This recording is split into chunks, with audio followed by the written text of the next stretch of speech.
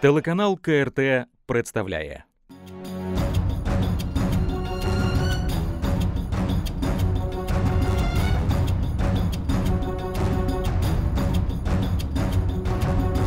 Вітаю вас, дорогі телеглядачі. Ви дивитесь програму без протоколу. З вами я і ведучий Дмитро Василець. І сьогодні в нас в гостях депутат Верховної Ради України Антон Поляков. Вітаю. Добрый вечер. І от перше питання, яке от я думаю дуже цікавить багатьох українців, тому що от трудовий кодекс і трудове законодавство це основа, на якому основа, на якій працює фактично більшість громадян України, тому що вони йдуть на когось, працюють і отримують зарплатню. І саме от змінити трудове законодавство. е, Прагнули ще от е, задовго до цих буремних подій з коронавірусом. І от е, ми зараз бачимо реально, що нам необхідно саме от соціально орієнтоване законодавство в плані от трудових со- відносин. І нам потрібно не е, зменшувати права не працівників е, найнятих, а нам потрібно їх збільшувати, і нам потрібно їх захищати. І таким чином е, стимулювати все ж таки нашу економіку. Тому що зараз ми бачимо, як от при карантині, при такому екстреному екстреній ситуації, ми зараз побачили, е, яку загрозу несе те, що фактично можна людину е, звільнити, і нічого роботодавцю за це не буде. Тобто, от з вашої точки зору, а що саме стало причиною, що в принципі партія Слуга народу, яка прийшла фактично служити народу, е, вони роблять все, щоб зменшити права е, робітників, які от в більшості своїй працюють і отримують зарплатню. Ну, по сути дела, тут сразу в вопросе много частей. Дело в том, что многие действия власти, которая пришла этой осенью и прошлой весной, да, а, после э, этих выборов, не соответствуют тем обещаниям, которые сыпались на а, избирательной кампании. Это однозначно. А, Относительно трудового законодательства, если бы приняли все же тот трудовой кодекс, который э, двигал Милованов со своей командой, да, и Гончарук, все его правительство, то мы представляем, что бы сейчас было реально. В тех условиях, в которых сейчас э, тысячи людей занимают очереди с самого утра с рассвета возле центра занятости, что бы было, если бы работодатели реально могли их просто без каких-то лишних телодвижений уволить и избавиться от них. Это была бы катастрофа реальная для всего э, рынка трудящихся Украины. И слава Богу, что все-таки благодаря профсоюзам и противодействиям, э, опять же, всех здравомыслящих депутатов, э, эти э, изменения отложили.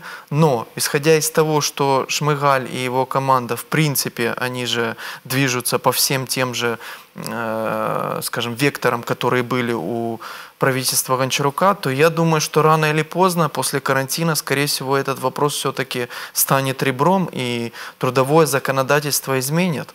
Потому что, насколько я помню, тогда были заявления, я еще был тогда в фракции, тогда были заявления по поводу того, что это э, одно из требований МВФ. А вы же видите, что в принципе... Знову це э, МВФ. Да, то есть э, на протяжении этих э, шести месяцев последних, э, которых э, в принципе мы видим все изменения, которые делают, все новшества, которые делает э, провластная фракция «Слуга народа», все прикрываются какими-то требованиями международных кредиторов и, в частности, Международного валютного фонда. Э, Лично я не видел никакого протокола там, заседания или какой-то стенограммы не слышал, где бы были эти требования четко расписаны, после которых уже было бы четко расписано, что мы за это получим. Но, тем не менее, такие фразы звучали, Э, И я думаю, к этому вопросу, опять же таки, повторюсь, вернуться. Но сейчас, э, слава богу, что у нас есть старое законодательство, Пускай оно старое, но вся Европа признает по факту, что наше трудовое законодательство одно из самых сильных по защите именно рабочих. И не э, самого владельца фирмы, работодателя, а именно э, самих рабочих. Можно его э, изменить, можно его адаптировать под современные, э, скажем, реалии, да, но оставить все те гарантии, которые были у наших трудящихся. Но ни в коем случае не э, делать те глупые э, положения, которые были прописаны в кодексе Милованова, когда издевательски можно было уволить беременную женщину или э, никаких гарантий выплат у трудящихся. Ну, то есть там было очень много ляпов, и реально на фоне того, что как раз было противостояние с аграриями, э, если бы еще поднялись профсоюзы, а тогда профсоюз э, э, Укрзалезницы обещал, в принципе, что 100 тысяч человек спокойно они могут вывести на улицы, то, я думаю, была бы картина очень печальная, поэтому это ненадолго отложили. Но Посмотрим, як воно пойде далі. А якщо от е, ми от бачимо ситуацію з цим е, законодавством, але в нас, в принципі, така от ахова ситуація не тільки от е, в сфері от трудового законодавства. Там я розумію, що потрібно дуже багато реформ, тому що в нас реально там. Дуже багато людей працюють в тіні, не платять податки. Фактично це все накопичується, нема стажу. Фактично, у нас пенсіонерів буде там дуже дуже мало людей в принципі буде отримувати пенсію. Фактично, пенсію можна сказати відмінили, тому що потрібно там 30 років стажу, а це вже фактично неможливо людям отримати. І ми зараз бачимо, буде ми зараз будемо бачити, як от люди фактично, от 10-15 е, років, які зараз нас чекають, вони не будуть отримувати пенсію. А от е, якщо подивитись, наприклад, у медицинську реформу, Зеленський у своєму фільму, піар-фільмі, він розкритикував е, реформу медицини. Фактично, він розказав, що у нас залишилися медики, тому що от ну от е, фактично нічого не залишилося, а тільки є от золоті медики з золотими руками, які зараз тягнуть на собі весь тягар е, цих от е, карантинів, інфекцій, коронавірусу, таке інше.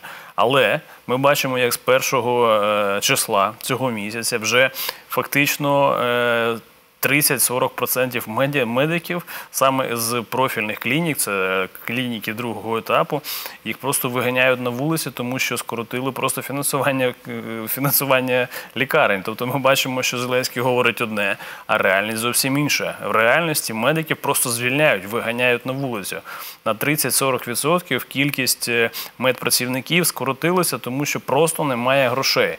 Тобто ми бачимо, як нам просто брешучи, як просто в лице і і ще насміхаються з цього. Як от це пояснити людською мовою бажано цензурно? Ну, однозначно президент лукавит. И однозначно он таким образом пытается себя отделить от своей же фракции «Слуга народа» и от своего же правительства. Потому что на самом деле вся полнота власти есть у него, и этого никогда не было в истории Украины. И даст Бог, судя из этого опыта печального последнего года, э, этого больше и не будет. Но мы видим то, что происходит. Лукавит почему? Потому что он может повлиять на правительство, он может повлиять на фракцию «Слуга народа». И когда он выходит в парламент и с трибуны заявляет о том, что, может быть, пересмотреть или отложить второй этап медреформы, а при этом его же министр здравоохранения и его же э, комитет, который занимается вопросами медицины, не обращает на это никакого внимания.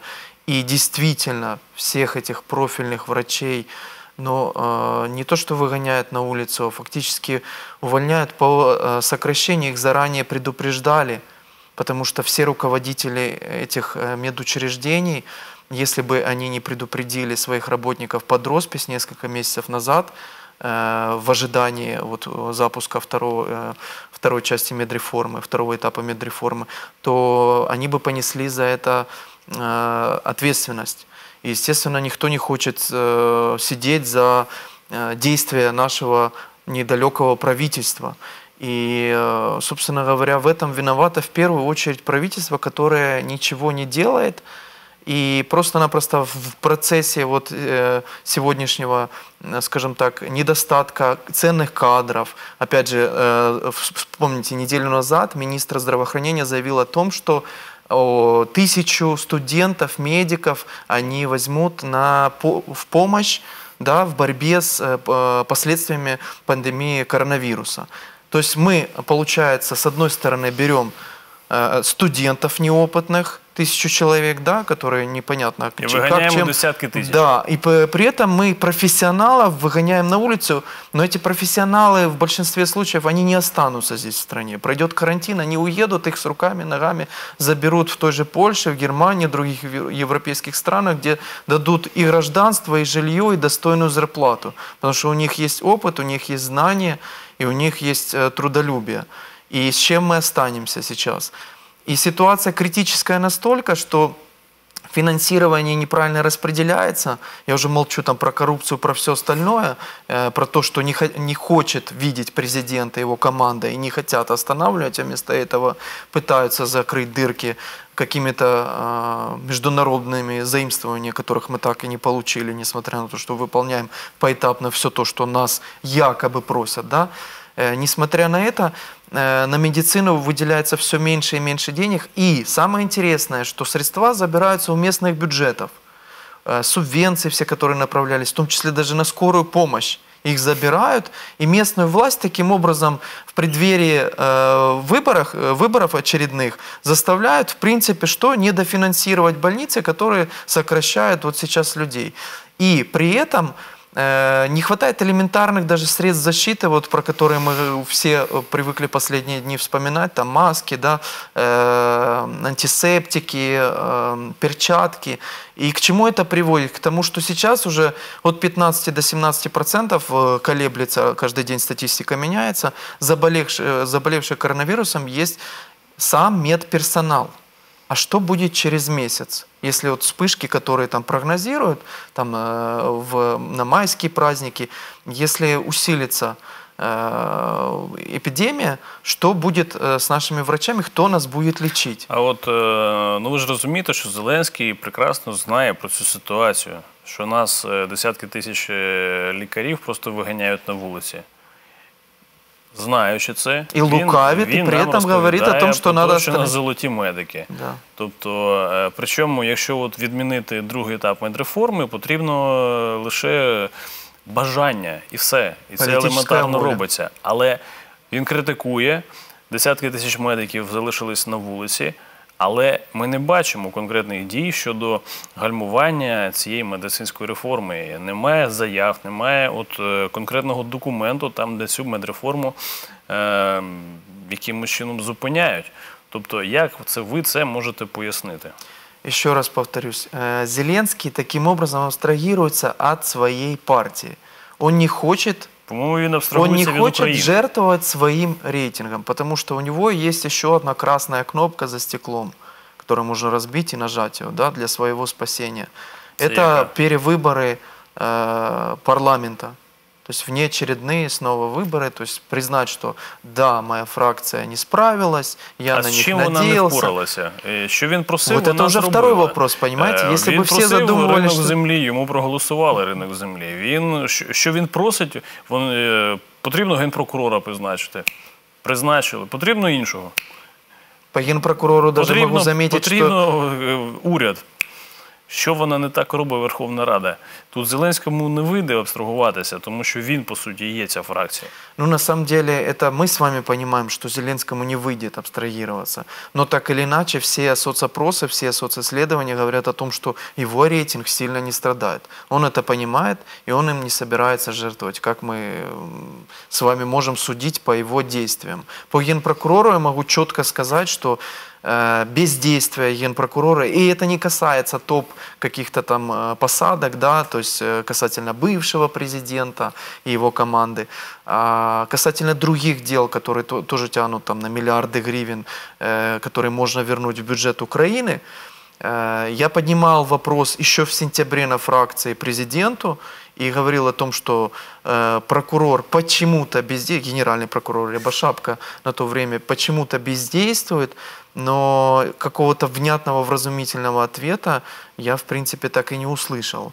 После чего я, э, собственно говоря, и начал собирать подписи о вынесении недоверия Рябошапки, но три месяца понадобилось для того, чтобы офис президента уже после увольнения Богдана признал то, что генпрокурор у нас бездействующий и не выполняет, в принципе, те функции, которые на него возложены. Так зараз ситуація не змінилася. Ми бачимо, Сейчас що ситуация не прокурор поменялась, и мы зміни- видим то, змінився, что а президент нічого у нас немає. снова в своем фильме, да, э, кстати, мне интересно, за какие средства снят этот фильм.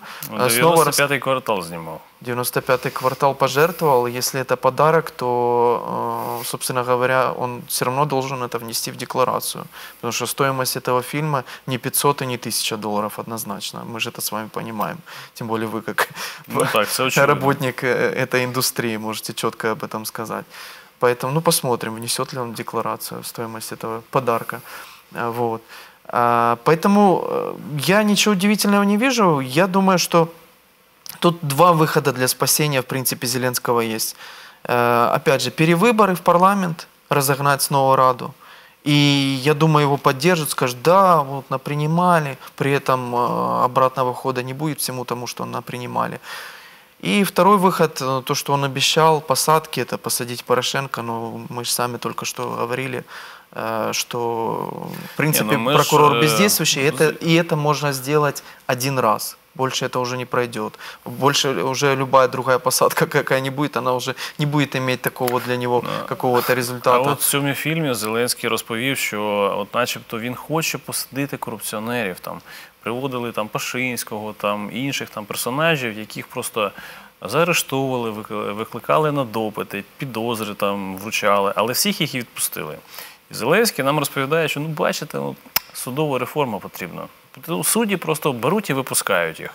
А якщо ми подивимось на реальну ситуацію, От, наприклад, щодо СБУшників, які от е, хапають невідомо кого громадян України і кажуть, що вони там десь щось в контакті е, написали не те, е, арештовують їх, кидають за грати і чекають, поки пройде обмін, щоб цих громадян України здати на підконтрольну територію. Чомусь у цьому випадку судді залишають цих людей у в'язницях. А у випадку топ-посадовців банди Порошенка ми бачимо, що суддям все ж таки заважає. Можливо, це все ж таки брехня, і що е, таким чином. Е, все ж таки згадуючи там судову реформу, це просто е, такий, знаєте, фейк, який хочуть скор- скормити громадянам України для того, щоб вони думали, що потрібно ще трохи почекати, поки реформа пройде, а потім настане щастя. Але ми фактично реально бачимо, якщо судді хочуть, якщо влада сказала потрібно, елементарно це все роблять і нічого їм не заважає тримати людей у в'язниці. Я вам так скажу, э, на самом деле наши судьи очень профессиональные, и букву закона очень четко знают и следуют Навіть этому знають, закону. е, якщо от е, різні ситуації, і вони знають навіть під яким кутом дивитись, щоб виконати рішення, яке зверху поступило. Це, до- це для мене дуже чітко відомо. Есть прецеденты по некоторым э, конкретным э, судам, которые известны, к сожалению, не только на всю страну, но и, и за рубежом. Э, Вот. Но в целом все реформы, которые проходили в той или иной сфере, хоть и судебная реформа, прошлый президент нам докладывал про успешное ее прохождение да, в течение нескольких лет. Ну, на выборах вот недавно совсем были лозунги реформа то- той же прокуратуры, э, реформа МВД. Все эти реформы были направлены на то, чтобы просто подчинить себе эти ведомства, эти структуры, не более того. Уволить тех, кто не годен, потому что по вот этим вот новым тестам, э, которые проходили в Генпрокуратуре, уволены тысячи э, людей, которые являются профессионалами своего дела, и у которых не к чему прикопаться. Э, Я имею в виду, что у человека реально за все время работы, там 15 лет стажа, э, старая иномарка и однокомнатная квартира, то есть он не взяточник, адекватный и действует всегда в рамках закона, но при этом его увольняют, но оставляют тех прокуроров, которые не ходят на суд, при этом заваливая дела или какие-то документы неправильно составляются, да, как вы вот говорите правильно, задержание прошло, или задержание прошло не по процедуре, или что-то не так оформили, или задержали одни, а должны были задержать другие. То есть у нас же э, столько наплодили органов. Я, кстати, когда был в Брюсселе, э, в Европарламенте, и там представители антикор-комитета, который, ну, у них он по-другому называется, но в нем есть именно направление э, антикор. И э, они сказали, что вам еще не хватает. То есть мы накреативили столько вам э, новых э, органов и новых учреждений, э, те тем занимаются, те тем занимаются. То есть ни в одной практически стране Европы такого количества этих всех структур правоохранительных и антикоррупционных нету но тем не менее все э, с каждым годом все хуже и хуже. То есть, как у нас, если посмотреть даже финансирование всех этих э, антикоррупционных, да, они из года в год растут, а эффективность их падает. И более того, вот если поговорить, опять же, вернемся про реформы, сейчас э, антимонопольный комитет, который один из самых эффективных пока что, да, есть какие-то тоже на него давления касательно каких-то компаний, но тем не менее... Антимонопольный комитет? Антимонопольный комитет 220 миллионов содержания за год. При этом в бюджет он принес 4,4 миллиарда гривен. Если бы на него не оказывалось давление в некоторых делах, я думаю, он принес бы и в 10 раз больше. Но сейчас что делают с ним? Его реформируют, снова таки, чтобы поставить на колени, да, прибрать к, к рукам, увольняют три четвертых персонала. Впоследствии, если сейчас на каждую область есть около 20 человек, которые отвечают Э, за антимонопольное законодательство и его э, ненарушение, то сейчас останется 4-5 человек на каждую область. Это, как вы понимаете, руководитель, бухгалтер и три специалиста. Как вы думаете, смогут они нормально работать и смогут ли они государству вернуть уже хотя бы эти 4 миллиарда гривен? Абсолютно я уверен, что нет. Чем это закончится реформа, мы сами с вами понимаем. Угу.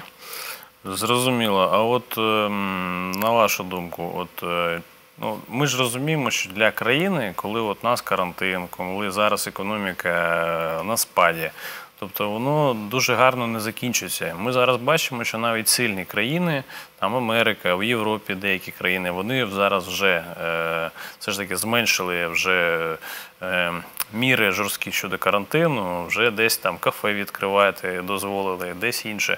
Тобто ми бачимо, як там пославлюють ці е, міри щодо зниження інфікування коронавірусом. А от у нас в Україні чомусь е, до 12 числа продлили це все. І от з вашої точки зору, правильно чи от такі рішення з боку нашого уряду, і яким чином це вплине на економіку? С точки зрения э, медицины, про которую мы с вами говорили в первой части программы, это правильно, потому что наша власть элементарно понимает, что они не остановили второй этап медреформы, и если не будет э, такой меры, как карантин, то, в принципе, мы бы с вами увидели цифры гораздо хуже. Но плюс еще есть, э, есть э, сдерживание э, по поводу тестов. То есть это целенаправленное действие власти по поводу того, что добиться тестов очень тяжело. И сами эти тесты, экспресс-тесты, они не такого качества, которого должны быть. И э, очень много ситуаций, когда люди э, делают эти экспресс-тесты, раз, второй, ничего не показывает, а потом делает э, дорогой этот ПЛЦ-тест в частной клинике, uh-huh. и уже результат позитивный. Испания возвращала, кстати, экспресс-тесты в Китай, потому что чувствительность вместо заявленных 90% было, по-моему, 30%. То есть, ну, брак, откровенный брак. И вот эти тесты нам даже толком и не дают их, нашим пациентам. То есть э, реальную статистику мы с вами не можем э, оценить. Касательно влияния на экономику, однозначно негативное. И все европейские страны, и Америка, и весь мир, в принципе, просчитал последствия да, от пребывания на карантине, а, от того, что экономика стремительно пикирует мировая от пандемии коронавируса. Китай фактически стал на колени, а это мировой гигант, который уже инвестировал все другие страны, да, миллиарды долларов. И при этом мы никаких расчетов не провели. То есть в среднем, если одна э, европейская страна э, за месяц э, простое на карантине теряет э, около 12 миллиардов евро, у нас никто этих просчетов не делал. Соответственно, когда мы будем понимать, сколько мы потеряем и к чему приведет вот этот вот простой карантина, да, мы можем понимать, что нам необходимо делать, а не рассказывать сказки про 500 тысяч рабочих мест за месяц, для каких-то людей, которые будут тротуарную плитку и озеленение делать в коммунальной сфере. Это как вы коммунальщиков заставите взять на работу 500 тысяч человек. Это тех коммунальщиков, у которых вы, в принципе, которые подчиняются местной власти, у которых мы забрали все субвенции. То есть э, о чем вообще идет речь? И где эти миллиарды гривен э, Шмыгаль возьмет? Где? Э, даже кредитов МВФ, если они в пять раз больше дадут, не хватит на все это. Поэтому необходимо было бы элементарно, как и осенью, когда принимали, допустим, антифоповские законопроекты, вместо того, чтобы встречаться с непонятными бизнес-ассоциациями, в которых непонятно, кто находится и непонятно, чьи интересы представляет, встречаться с реальным бизнесом, ну, то есть, вот, допустим, там движение Сейфоп, садиться с ним за стол переговоров, как мы с вами, и решать, какие меры можно принимать, какие нельзя. Санитарные, естественно, усилить нормы, вернуть санэпидемслужбу, которая необходима нам остро, потому что последние годы мы видели с вами все, каждый, я думаю, ваш телезритель э, может привести как минимум несколько примеров, когда в каком-то садике или школе, даже в которых э, находятся их дети, были вспышки каких-то заболеваний. Это все связано с чем? Ликвидировали несколько лет, в 16 по-моему, году санэпидемслужбу. Вот вам, mm-hmm. пожалуйста. Вроде бы небольшая такая... і Ляшко, и зараз він очолює Один. Ну что он может сделать один? Тем более те инструкции и приказы, я э, как мажоритарщик общаюсь э, с руководителями медучреждений на округе, и те инструкции, которые он направляет, они э, не отображают всю схему и все процессы, которые необходимо проводить. То есть, ну, это, в это можно углубляться, но то есть э, люди жалуются на, действительно на непрофессиональный подход, или же это профессиональный подход, но он таким образом не хочет э, нести ответственность за какие-то инструкции, которые он дает, и приказы. И у него нету команды, команды нету, о чем я и говорю, то есть uh-huh. службу эту ликвидировали.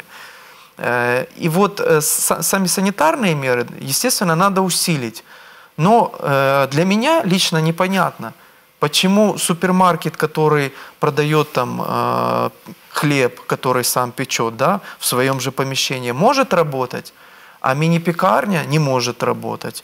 Почему в супермаркете продукты, которые мы завозим, там э, чеснок уже, извините меня, с Египта по золотым ценам, э, может работать, а бабушка, которая вырастила этот э, чеснок в Херсоне, не может выйти на рынок, где свежий воздух, и сами же врачи говорят, что вероятность э, заразиться в десятки раз меньше, не может на рынке его продать. Почему? А в магазине, в котором циркулирует один и тот же воздух, и все стоят без никакого интервала между собой, да, с нарушением всех норм, мы можем это купить. И так, и так далее, и тому подобное. То есть мы, э, получается, опять же защищаем интересы каких-то определенных структур, определенных определенных сфер бизнеса, при этом валим 70-80% реального сектора экономики, которые приносят реальную прибыль государству. А от що таке питання? От зараз ми бачимо, як навіть Білорусі і Росія посварилися серед те, що гречку не Росія не поставила до Білорусі. Тобто зараз от Турція там заборонила експорт лимонів, так да. ну і дуже багато країн там хто пшеницю заборонили, хто інше. У нас в Україні ніхто нічого не забороняв. У нас як було, так і є. У нас фактично ми бачимо зараз, що е, наші продовольчі товари вивозять за кордон. У нас дуже важка ситуація буде через там декілька місяців. У нас будуть просто космічних е, коштів коштувати ці всі продовольчі товари.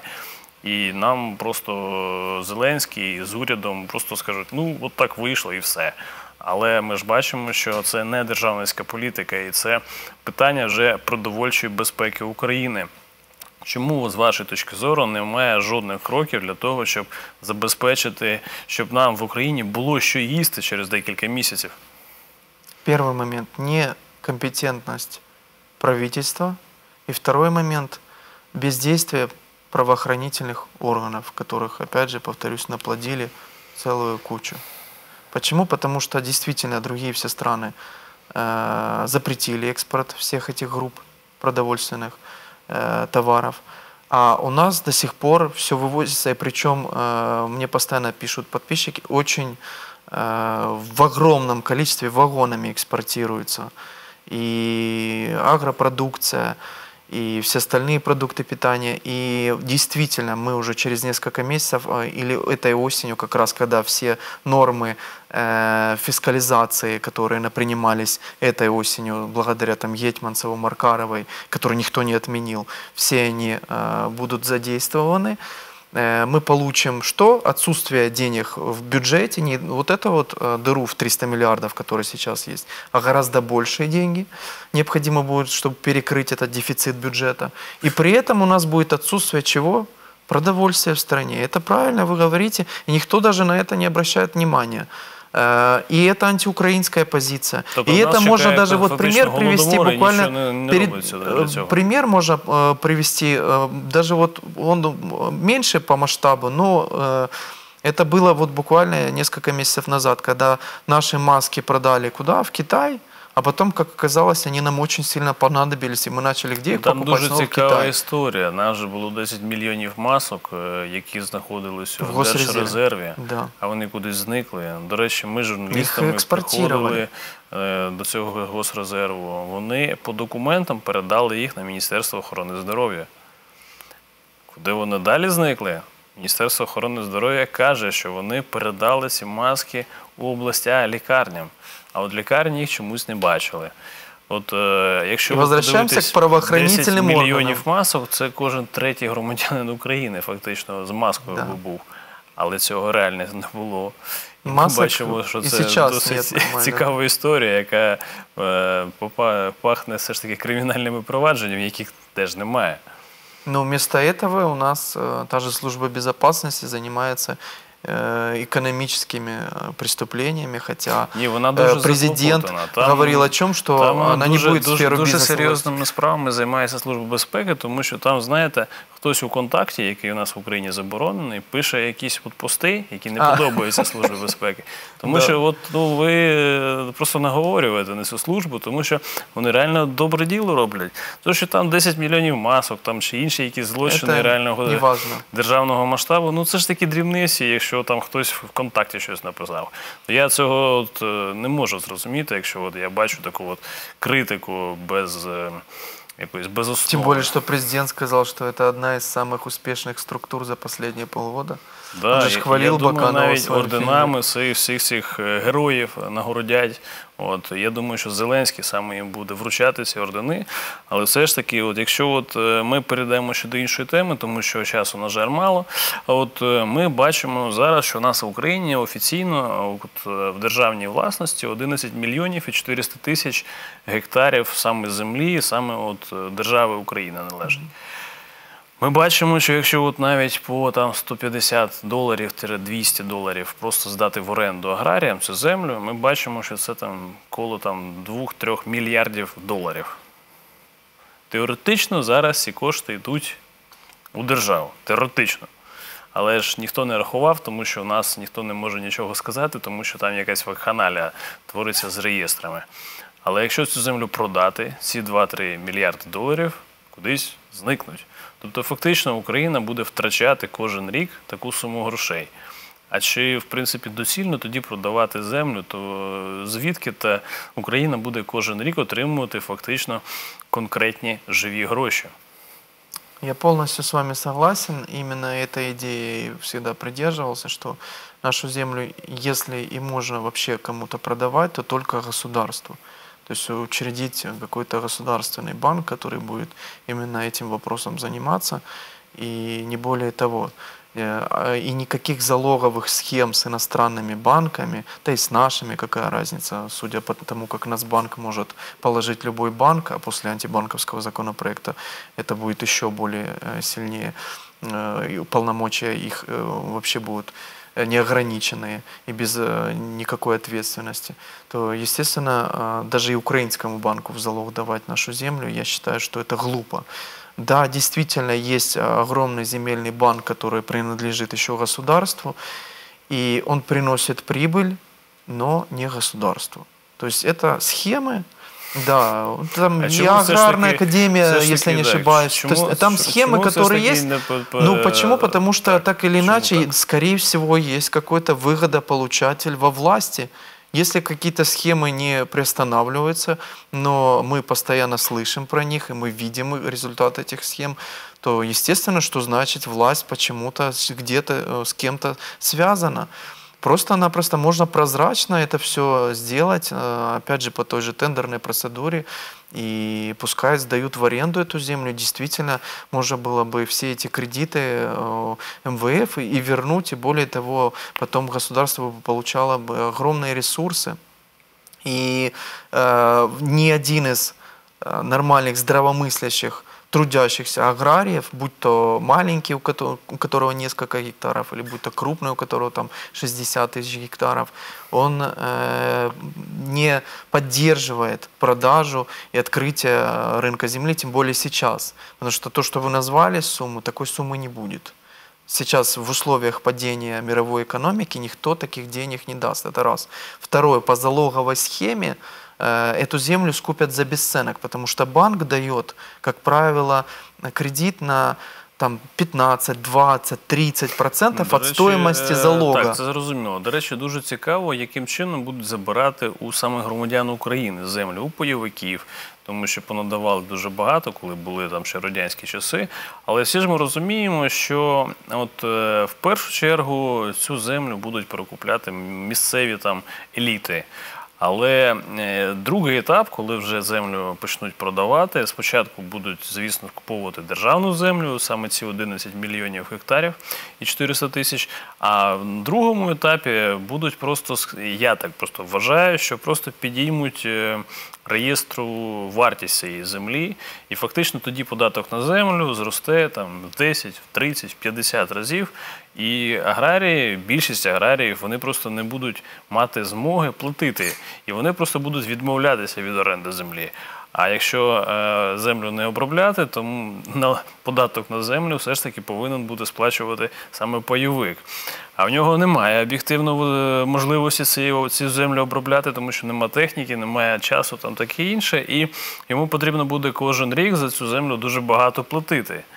І от саме в цих умовах я вважаю, що цю землю просто будуть е, скуповувати банки за безцінь, і ми будемо зараз просто е, моніторити цей процес і нічого не будемо в змозі зробити. Я думаю, что, ну, во-первых, не э, скупать, а по залоговой схеме брать, то есть дается какой-то кредит, ну, так. да, копеечный, а за него в залог берется земля, которую да, можно потом реализовать, причем в неограниченном количестве. То есть вы представляете, что один банк может купить 100 тысяч, э, таким образом, при, в свои владения, 100 тысяч гектаров земли, к примеру, да, это несколько областных центров.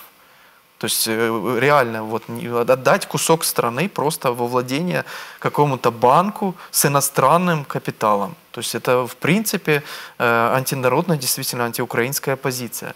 Но я думаю, что до этого не дойдет, потому что на самом деле уже э, все тектонические сдвиги идут, потому что если мы понимаем, что через год запускается рынок земли, и что так или иначе, или я смогу продать землю, или же мне придется купить землю, да, то есть тут покупатель-продавец присутствует, э, то, естественно, все уже думают, что будет э, происходить и что в этой ситуации делать.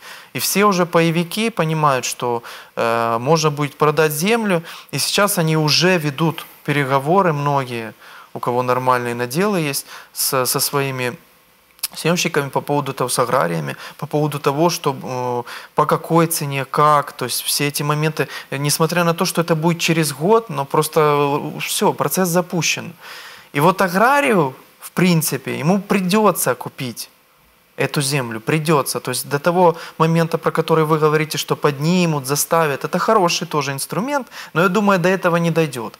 Потому что те аграрии, которые владеют миллионами долларов там, э, своих каких-то запасов, да, они просто вынуждены будут э, с оборота бизнеса достать эти деньги и заморозить их в землю.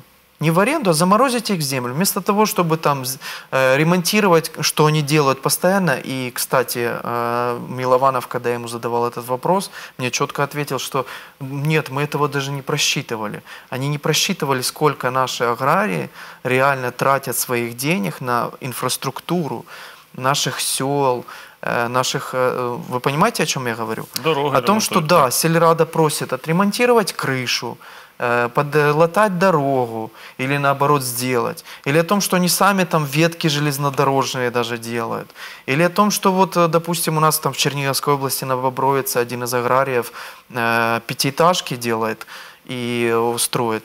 И по одному подъезду с каждой пятиэтажки отдает там э, медсестрам, э, медперсоналу или же учителям.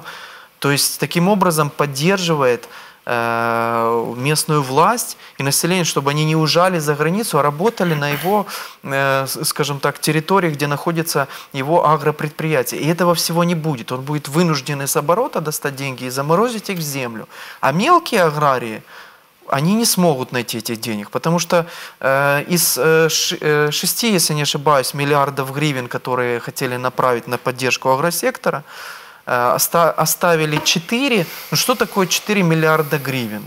При том, что они нам обещают 70% э, возврата при покупці української сільхозтехніки. Так а в чому сенс тоді е, продавати українську землю і е, держава, щоб давала аграріям кредит на купівлю цієї землі? Для нас с вами смысла нет. Если мы с вами э, хотим дальше жить, работать в Украине, оставаться здесь, чтобы наши дети здесь жили, для нас абсолютно нет смысла. Есть смысл для тех людей, которые, в принципе, уже живут в Сан-Тропе там, или еще где-то, да, и у которых есть, как вот у Богдана, э, есть во владении там 60 тысяч гектар, или у Сольского, да, они же партнеры по агрофирмам. Единственное, угу. сейчас уже изменения в законодательство прошли, и по реестрам не всегда это можно увидеть. А раньше это все а было вот, видно. Э... Они, они просто зациклены на том, чтобы продать, получить деньги, и, собственно, все на этом. А от ви, коли йшли у Верховну Раду, ви йшли по мажоритарному да. округу з від фракції Слуга народу. Да. А от ви думали, що партія Слуга народу перетвориться в партію Слуг МВФ чи навіть рабів МВФ? Ну я от просто не можу пояснити, чому от саме от різні по суті люди, яких понабирали е, з різних місць, е, так от беруть і натискають зелену кнопочку за продаж нашої української землі, невідомо кому. Для мене це не зрозуміло. Тобто, от ви думали, що у нас от буде така ситуація, коли слуги народу е, фактично перетворяться в рабів МВФ? К сожалению, я об этом э, даже и не думал. Я не мог даже представить себе такого варианта развития событий. Более того, я э, участвовал и в президентской кампании, был доверенным лицом Зеленского по Чернигову. И я всем разумом верил, всей душой верил в то, что мы действительно э, идем менять страну э, к лучшему. И для меня было удивление, и к радости я очень быстро понял, что э, под Зебрендом в парламент попало очень много людей из того режима, который мы так пугали на выборах, да, с тем, что мы расставим точки, угу. и все эти схемы уберем и э, превратим а в нашу що, страну що в саме золотую. от мотивувало цих депутатів е, голосувати? Їх що там сім'ю в заручників взяли, чи їм просто грошей дали? Я так розумію, все ж таки грошей понадавали. Дело в том, что действительно э, были разговоры неоднократные о том, что Э, есть конверты, которые раздают как черную зарплату слугам народа, и по этому факту даже... Я так розумію, э, окремо за голосування по землі, там коррупционная, ну, конверт, ну, по, пакет. По земле там, там вообще сумма. были разговоры о том, что очень крупные суммы давали, там 100 тысяч долларов, ну, то есть за голосование. Ну, нельзя, хоть там за 100 тысяч, за миллион, за два, не знаю, за 10, но это то, что не продается. Ну, то есть я уже молчу о этих конвертах, которые там 5, 10, 15, да, то есть 5 обычному депутату, там, здесь ну, мне да, лично чего, никто не давал, не предлагал, 5, 10 и 15 э, под э, главам фракции и главам комитетов. Ну, возможно, для кого-то, кто, скажем так, этих денег никогда в жизни не видел э, и даже и через 10 лет или через 20 лет из этих депутатов не смог бы их заработать, если бы не было, не было всей этой кампании Зеленского. Для них это, естественно, как манна небесная. Но, к сожалению, это предательство всех наших избирателей. И... Я дякую все ж таки, що ви зайшли до нас на програму. Я думаю, що ми будемо дуже часто вас бачити на своїх ефірах. Е, Це була програма без протоколу. З нами був в програмі депутат України Антон Поляков. З вами був я і ведучий Дмитро Василець. До зустрічі!